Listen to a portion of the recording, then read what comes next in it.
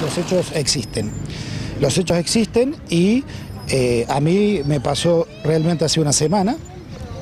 Este, Marcela, la señora que trabaja con nosotros, a las siete y media de la mañana fue seguida en el barrio Los Cigarrales es por un individuo eh, de un metro setenta de estatura, con una gorra de lana, vestido de oscuro.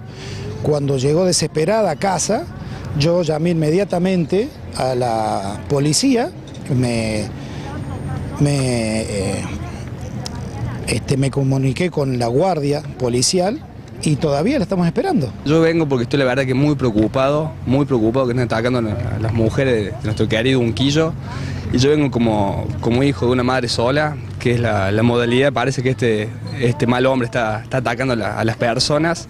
Unos pocos hombres y unas cuantas mujeres se reúnen todos los sábados desde hace cuatro semanas en la Plaza Alem de Unquillo.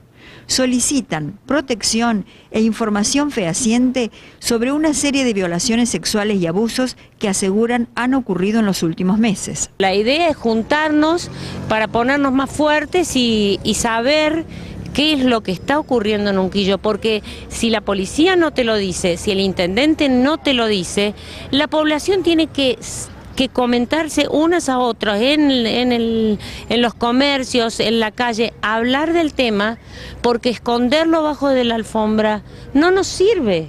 No, de esa forma no nos cuidamos. Estos ciudadanos convocan a toda la población de Unquillo a participar y a informarse a través de Facebook. Basta de abusos sexuales en Unquillo. Ese es el Facebook, ahí ponemos todas las novedades y estamos organizando para el próximo 8 de agosto un evento eh, y este es el objetivo de la reunión de hoy, avanzar sobre esa organización. Y en ese Facebook pu- publican el horario de cada sábado, que dicen que lo cambian a veces. Publicamos eh, todo lo que se trató en la reunión anterior y lo que se va a publicar en, el, eh, en tratar el sábado siguiente.